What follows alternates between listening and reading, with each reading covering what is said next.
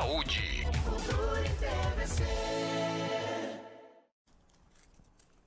Bom, já estou aqui sentada ao lado da minha convidada do dia, a Lu. Seja bem-vinda à casa obrigada, sua, muito Lu. obrigada pelo convite. Convite feito pela nossa queridíssima Beatriz Benedetti, nossa estagiária e sua paciente, que eu Sim, sabendo. de muitos anos, de muitos anos. Digamos que bem intimamente, mas bom. Olha, Lu, eu fiquei muito feliz com a pauta. Aliás, nós nunca falamos sobre isso aqui no A Casa é Sua, nem no Ter Saúde, onde super cabe esse assunto. Então, de maneira inédita, vamos desmistificar todos, tudo isso que envolve né, a acupuntura, esse negócio de que mergulha agulha em remédio e deixa o paciente dopado, que eu já sei que é mentira, é fake news. Bom, para esse bate-papo, o que, que eu pensei? Ao invés de fazer perguntas e respostas para você, eu trouxe 10 afirmações. Aquilo que for verdade, você me confirma sendo verdade. Aquilo que for mentira, você me diz que é mito. E aí você explica Sim, pra com gente. certeza, Combinado? tranquilo. Então, beleza. Vamos lá. Primeira afirmação que eu trouxe para abrir o bate-papo é: a acupuntura trata somente dores físicas. Não, com certeza não. A acupuntura ela trata além das dores físicas, mas também as dores emocionais. E além de tratar as dores emocionais, como ela faz um equilíbrio do seu perfil energético todo, ela faz com que você melhore a sua capacidade física no seu desenvolvimento de energia, de aptidão, de uma atividade física, para você fazer um bom relacionamento na sua evolução de trabalho. Por quê? Equilibrando as energias, você equilibra seus emocionais. Ansiedade, depressão, medo, angústia. E quando você passa a ter o controle disso tudo, você é o seu eu verdadeiro de energia, você flui muito mais leve, a, harmonia sua fica muito mais leve. E aí fica muito mais fácil para trabalhar. Então a acupuntura não trata só físico.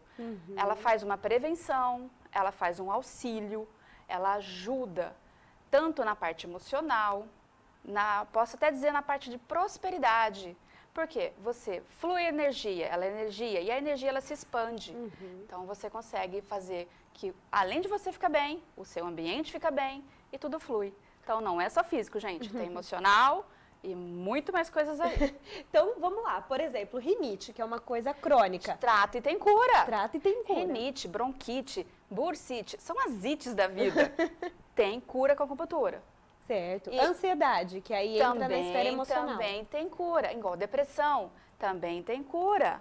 A acupuntura, ela faz todo um auxílio junto com o psicólogo, com o terapeuta, para poder fazer esse tratamento, Uhum. auxiliando, e aí ajuda de controlar as emoções. Uhum. Como eu havia dito, você controla a ansiedade, medo, pânico, porque alguma função do seu organismo na parte de energia Tá desregulado e vai acabar te dando mais problemas mais futuramente. O que acontece?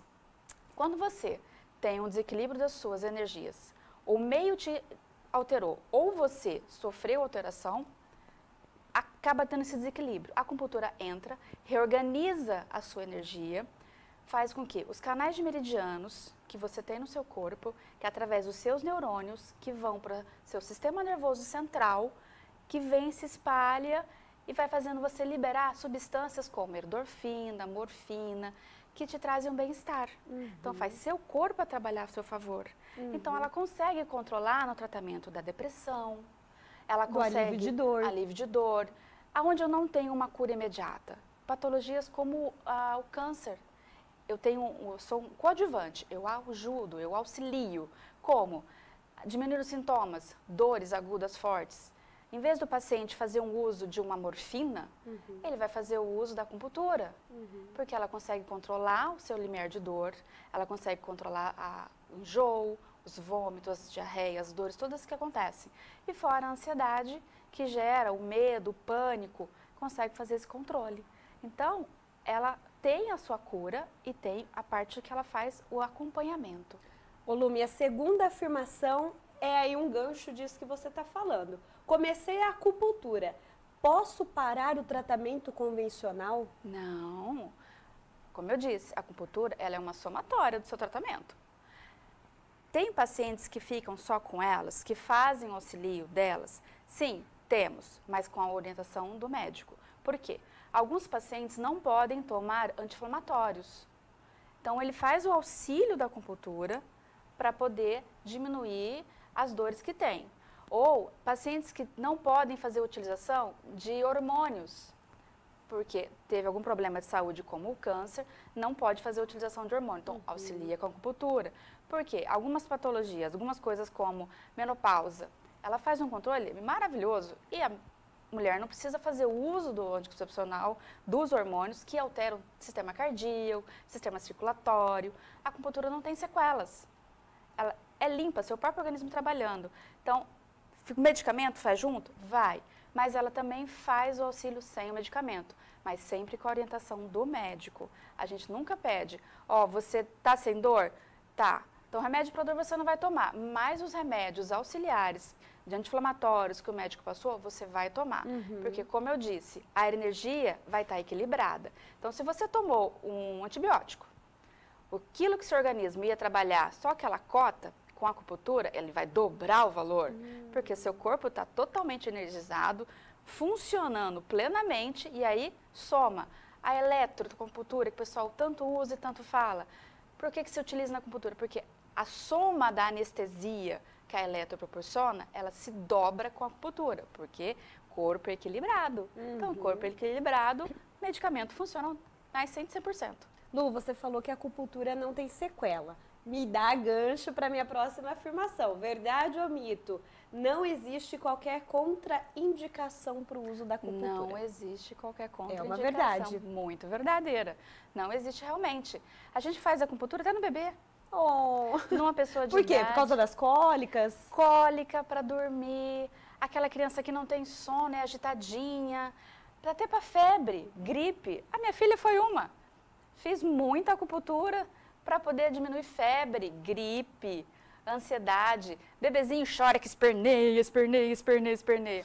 Põe um aurículo que, nossa senhora, dorme feito um anjinho, mamãe. Igual para leite para mãe. Pode dar. Quantas mulheres não tomam remédio durante a amamentação porque interfere no leite? Entra com a acupuntura, porque aí não que vai, vai poder amamentar vai poder amamentar, porque geralmente ganha o nenê. O que que acontece? Lombalgia, uma dor na lombar, uma dor nas costas. Não pode tomar inflamatório porque está dando mamar. Uhum. Então entra com a acupuntura, que aí sana, não tem sequelas nenhum, não tem nada, não tem nenhum perigo. A acupuntura não tem contraindicação para nenhuma idade. Vamos para a próxima. Essa é polêmica. As agulhas introduzem substâncias no corpo. É uma Gente, verdade ou é um Não, nenhuma. Não é só um mito, é uma ó, mentira. Trouxe até aqui, ó. Tava falando agora há pouco ali para as meninas. Um pacotinho de agulhinha. De... Vem 10 agulhinhas nesse pacotinho. Quando você vai fazer a acupuntura, a gente tem que abrir cada pacotinho.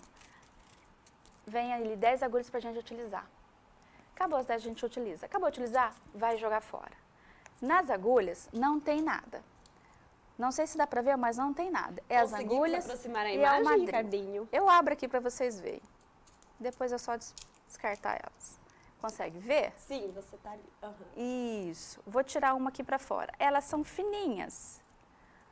Indolores. Indolores. Bota Olha como ela, olha como elas são fininhas. Uhum. Vocês nem conseguem ver quase a pontinha dela. É só a parte da onde a gente pega que é o é espiralzinho é dela, uhum. entendeu? Ela não tem nada, é uma agulhinha tão fininha na ponta que ela até dobra com facilidade, ó. Dobrou com facilidade. Uhum. Consegue ver a E usou no paciente, tchau, Jogou obrigado, fora. joga fora. Isso, usou, joga fora. Eu vou dobrar não tem nada de ser fora. reutilizada. Não, por quê? Elas perdem o corte. Uhum. Antigamente se usava aquela com uma a, a com uma ampulhezinha que você levava para casa. Era sua responsabilidade aquela agulha. Pesquisa se provou que na ponta da agulha, que ela que é reutilizada, ela cria bactérias. Aí sim tem uma substância que a gente não quer no nosso organismo. Uhum. Então, a gente joga fora. Agora, essas aqui, usou, joga fora, não serve para mais nada. Pronto. Ô Lu, eu tenho um desafio para você. Eu não sei se a Beatriz nossa querida estagiária aqui do programa, aqui da TVC, adiantou isso para você. Nosso tempo está super apertado, mas eu queria que ao vivo, se há a possibilidade de você fazer o, o dos três dedinhos. Ah, é, a pulsologia. Isso. A gente Dá, meu através... querido diretor, você vai me matar? Através do pulso. Ai, só vou pedir pra você Não, não dá tempo. Não, mas vai ter que dar tempo. Ah, tá. Não, não vou me matar. A Ó, gente são consegue três- deixar aqui na 2? São três pontinhos, ó, que a gente coloca aqui, que a gente vai ver os meridianos de energia, os canais de energia no seu corpo. Aquilo que está desequilibrado e aquilo que está equilibrado. É o momento da verdade agora. É o momento da verdade. Então Me conta tudo que você tá sentindo. Tchan, tchan. Que tensão. Eu tenho que ficar quieta? Não, não precisa ficar quieta. Olha que legal, o rim dela trabalha legal. Olha. O fígado dela trabalha legal, ela é bastante agitada e expansiva. O coração, mente trabalha pra caramba, mas não tá desequilibrado nem o fígado nem a mente. O rim tá um pouquinho em excesso, mas é normal no padrão. Agora, o intestino é bem um pouquinho complicadinho. O que, que a gente faz com o intestino? Ó, o que a gente viu aí? Resumo da novela aqui. Resumo da novela meus você. pulsos. O que, que eu vi? Rim é bateria do nosso organismo. É a Hum. energia que flui no nosso organismo. Você é bastante agitada e dinâmica. O fígado é uma mãezona. Né? Você abraça todo mundo e acolhe todo mundo. Então, ele fala referente a as dinâmicas que você tem que pensar junto com o coração, que é a mente nossa, é o, o coração na medicina chinesa é o rei, é o capitão, é o coronel, que manda em todo mundo. Então, tá ali agitadão, com o fígado. Se fosse tratar com você agora, eu ia fazer um controle da sua energia de rim, para que flui mais, mais calmamente, sem deixar alguma sequela. Porque o que está em excesso também vai fazer mal que é o equilíbrio. Então a gente diminui um pouco o rim, faz a- o coração bater mais suavemente, o fígado, que é o soldado, receber toda a informação do coração. Agora, o intestino está debilitado. O que, que é o intestino? São todas as sequelas, restos daquela energia que você gastou e precisa eliminar e não está eliminando. Então, a gente faz o intestino eliminar toda essa energia. Isso falando perante a medicina chinesa. São as energias da, da medicina chinesa. Voltada para a nossa parte, que é a parte da medicina é, ocidental que a gente usa, a gente vai ter dores musculares nas costas, que é o do fígado, um pouquinho de opressão no peito com um pouquinho de cansaço e a cabeça cansada, que é uma estafa mental. Mas, como eu tenho um rim que ele não está decaído, ele está em excesso, como você faz uma coisa que você gosta no meio que você vive, faz com que essa estafa mental seja um sono gostoso e profundo. Gente, passo o contato pro pessoal de casa agora. Qual que é o WhatsApp, Lu? Bom, eu trabalho em casa mesmo ah, e trabalho na Fisiosoma. Quem quiser falar comigo, meu telefone é 991-860117. Só me mandar mensagem no WhatsApp que eu atendo com o maior prazer. Pois enviá-lo-ei. Muito obrigada por este bate-papo. Você é muito bem-vinda aqui na Casa Sua. Volte sempre que quiser, viu? Obrigada, Vamos fazer uma pausa antes que a minha cabeça seja degolada neste programa, meu querido diretor. Vamos fazer um intervalinho.